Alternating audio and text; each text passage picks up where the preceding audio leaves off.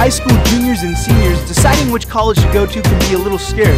If you can relate, then check out the Oxnard College Youth Conference. This event provides you with educational and inspirational workshops ranging from law and robotics to criminology and film. We also have Show Me the Money, a workshop that will help you find financial support so you can get to college without a hole in your wallet. Register now and come on down to the Oxnard College Youth Conference Friday, April 23rd from 8:30 a.m. to 2:30 p.m. on the OC campus.